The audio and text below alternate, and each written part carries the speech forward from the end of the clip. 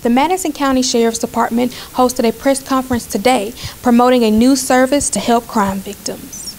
That new service is called SAVIN, which is an acronym for Statewide Automated Victim Information and Notification. SAVIN provides free confidential access to offender custody information by phone or online. SAVIN is so important to crime victims.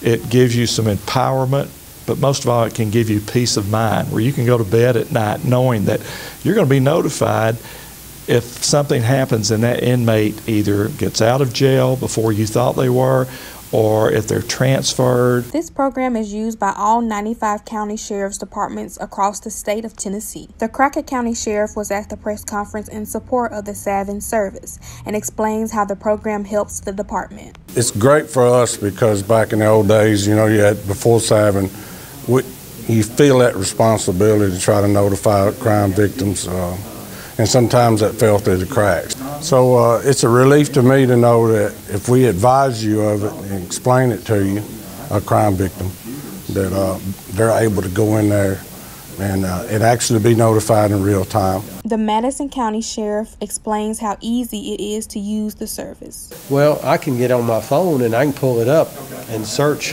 and find that person.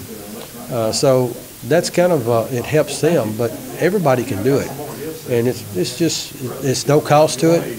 It's a service. The Tennessee Sheriff's Association has posted billboards, a part of a marketing campaign, in several areas in Madison County to inform the public on how to register for the service. To register, you can visit vinelink.com or by calling 1 800 501 0367. I'm Christen Hyde, 39 News, Jackson.